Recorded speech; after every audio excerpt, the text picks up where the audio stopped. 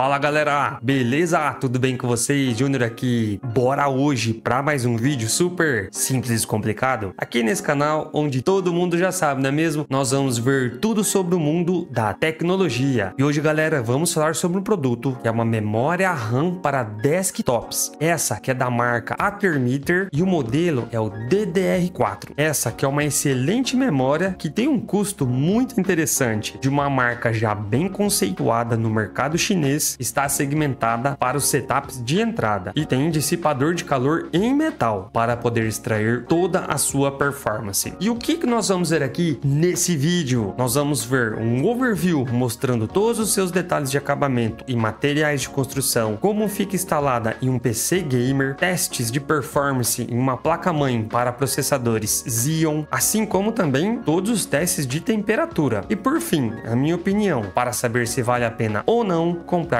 essa marca aqui. E galera, esse vídeo aqui, ele não é patrocinado. Eu comprei essas memórias com meu dinheiro. Então toda e qualquer opinião que eu trazer aqui para vocês é única e exclusivamente a minha própria opinião como consumidor. Gostou delas? Pode clicar aqui no primeiro link da descrição, que eu só indico lojas de confiança e claro, sempre o melhor preço. E se ficar com alguma dúvida, pode escrever aí nos comentários, que eu respondo 100% das perguntas dos amigos e amigas inscritos aqui no canal. E galera, pra gente já dar início no review, 90 97% das pessoas que me assistem não são inscritos. Então, se você puder curtir o vídeo e se inscrever, isso me ajuda muito a estar sempre aqui trazendo esse tipo de conteúdo de qualidade para vocês. Beleza? Então é isso daí, galera. Bora lá pra vinheta e partiu pro vídeo. Bom,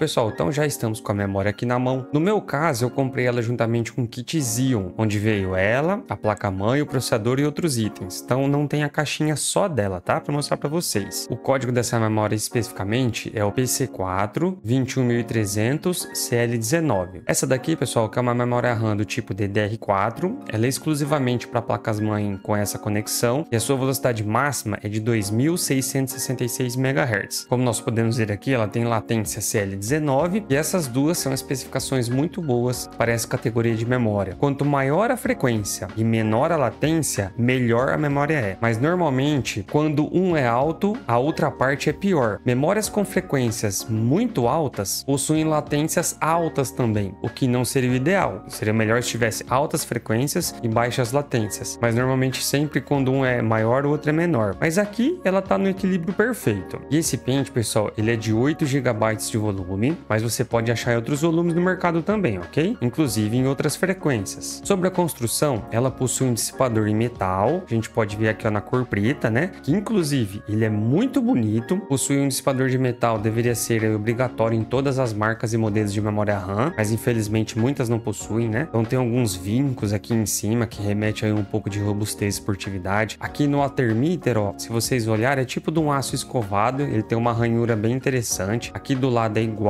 né? São várias ranhuras, né? Dá pra gente ver bem aqui nessa imagem, ó. É muito fácil de ver, né? É muito bonito e é bem característico aí de memórias da China. Muitas delas possuem esse acabamento aqui de metal. Aqui na parte traseira, né? Continua sendo de metal. Aqui é totalmente liso. Só tem algumas linhas aqui, né? Pra não ficar uma coisa muito simples. A gente pode perceber que com dispação de metal ela fica com uma espessura bem bacana. PCB dela na cor preta, não é aquele padrãozinho verde. Então, assim, esteticamente ela é muito bonita e a gente percebe também que muito eficaz, né, pelos materiais de construção. Vocês tomem cuidado para nunca encostar os dedos nas conexões douradas, essas aqui na parte de baixo, porque isso, além de causar oxidação por causa do suor dos seus dedos, pode também dar estática e danificar a sua memória. Embora seja raro de acontecer nos dias atuais, mas prevenir é de graça. E para não ter risco de ela não caber na sua placa-mãe no seu PC, vamos fazer as medidas dela aqui. Então, a de altura, ela tem no máximo 37 milímetros, quase 38. De espessura, ela tem 6,59 milímetros e de largura ela possui 135,33 milímetros, ok? Agora, pessoal, vamos ver ela montada em um PC Gamer para a gente ver como que ela ficaria no seu setup, beleza? Então, bora lá. Bom, prontinho, pessoal. Temos ela aqui já montada no PC, né? Por enquanto tá desligado, mas já já vou ligar para mostrar para vocês. Então, é muito interessante essa configuração, porque eu tenho um CPU cooler aqui bem grande, que ele não é daquele tipo de torre comum, né? Que seria na vertical, ele é na horizontal a fan. Então, facilmente, dependendo do tamanho da memória, poderia esbarrar aqui nele, né? Então a gente percebe que ela aqui, ó, não esbarra nada. Na verdade, sobra muito espaço ainda, né? Poderia ser quase que o dobro do, do tamanho que ainda não ia pegar nesse caso aqui. Então ela tem um tamanho bom, não é pequena demais e muito menos grande. Então gostei bastante do tamanho dela. Eu tenho certeza que vai caber com praticamente qualquer setup. Então se o seu medo é compatibilidade pelo tamanho dela, aqui você não vai ter esse problema. Como ela é preta, ela fica bem discreta, né? Para quem não gosta de RGB ou não quer gastar dinheiro em memórias mais caras por conta do RGB, ela é uma excelente opção porque ela é bonita, tem eficiência, né? E o seu custo é interessantíssimo. Então esteticamente eu gostei muito dela. Se a gente observar aqui do lado esquerdo, ó, tem outro pente, né? Nesse setup aqui eu tenho dois pentes de 8 GB cada, também é preto, ó, fica bem discreto. Aqui a presilha do CPU cooler quase encosta nela. Se fosse muito alta desse lado, talvez não caberia. Ou teria que colocar o CPU cooler nessa posição, né? Mas no caso aqui eu deixei ali mesmo porque não tá atrapalhando, né? Tá bem perto se a gente ver ali, ó, mas não tá pegando. Então coube da mesma forma. Agora vamos lá que eu vou mostrar para vocês os testes e todas as informações dela diretamente no sistema. Pronto, pessoal, já estamos aqui com o PC ligado agora, né? Fica muito bonito, ela reflete um pouco o brilho das fãs RGB, por conta de ela ser um preto brilhoso, né? Bom, primeiramente vou mostrar para vocês como que aparece aqui no CPU Z. Então quando vemos aqui em Memory, então lá o tipo DDR4, né? Dual Channel, porque eu tenho dois pentes, né? Totalizando 16 GB.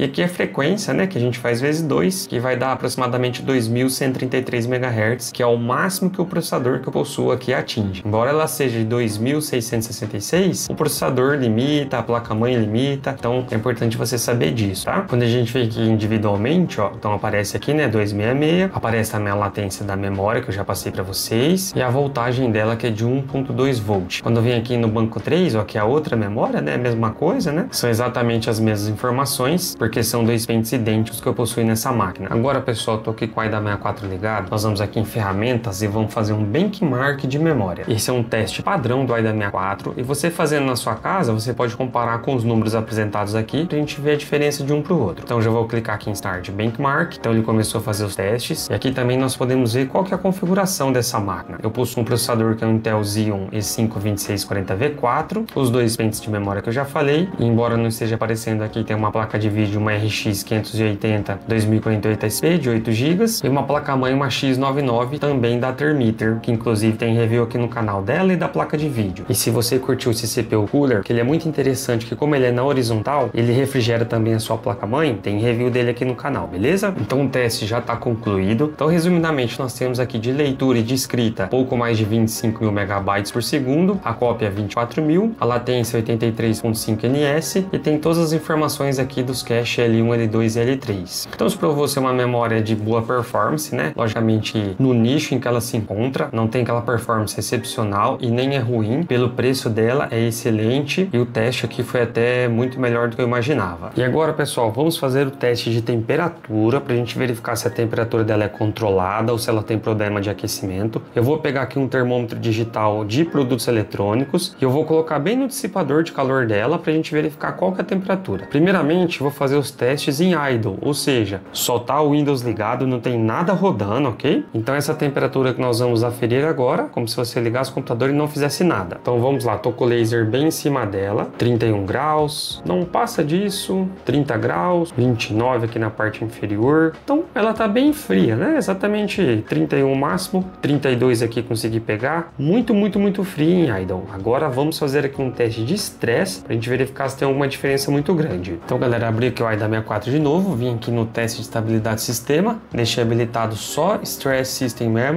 e prontinho. Já tá fazendo o teste aqui de estresse. Agora vamos voltar lá e a gente ver se teve alguma diferença. Tô aqui em cima de novo. Aqui continua em 31 graus, 32, 31, 29. Olha, não teve diferença nenhuma. Está muito, muito, muito fria, com nenhuma diferença aqui nas temperaturas. Tá praticamente a mesma coisa. Deu 32 graus aqui de máxima. Eu vou parar o teste e vou fazer um estresse de tudo. Vamos colocar aqui tudo que tem aqui possibilidade de estressar para gente verificar se dá alguma diferença nas memórias, já que a temperatura ele se mostrou a mesma. Então aqui, tá estressando o computador inteiro agora. Vamos voltar aqui para ele e vamos lá colocar na memória agora para ver se teve alguma diferença. Olha pessoal, os mesmos 31 graus, 30, 29, realmente o resultado da dissipação de calor e da eficiência energética dela é fantástico. Eu coloquei o termômetro mais próximo um pouco, ó, mas não passa de 32 graus, quase chega em 33 em alguns momentos, que na parte lateral geral, tô conseguindo pegar uma temperatura um pouco maior, 33, quase 34. Aí pegou 34 ali por um momento. Então é isso daí, pessoal. Se mostrou muito melhor do que eu imaginava. É um dissipador de calor simples, mas como ela não é uma memória de alta performance, pelo seu custo e o nicho que ela se encontra, o resultado dela de temperatura se saiu muito melhor do que eu poderia prever. E aí, galera, o que, que eu poderia dizer se eu recomendo ou não essas memórias para vocês? Bom, com certeza está super recomendada. Ela tem um custo muito interessante, uma marca que já é renomeada no mercado internacional e principalmente pelos importadores aqui no Brasil, possui especificações excelentes e acima da média para setups de entrada. Para você que sonha com seu primeiro PC gamer e está procurando um kit Xeon, elas são a escolha perfeita. Até hoje não tive nenhum problema com memórias dessa marca queimando ou dando algum tipo de problema. Das marcas que já importei da China, ela está entre as melhores, com certeza absoluta e sem medo de errar. Beleza, galera? Então é isso daí. Estamos chegando aqui ao final de mais um vídeo. Como sempre, eu gostaria de agradecer a você, a você aí mesmo, que ficou assistindo o vídeo até o final. Muito obrigado por estar prestigiando meu trabalho e é uma gratificação imensa ter a sua presença aqui comigo. Beleza? Galera, um grande abraço para vocês. Até a próxima e falou!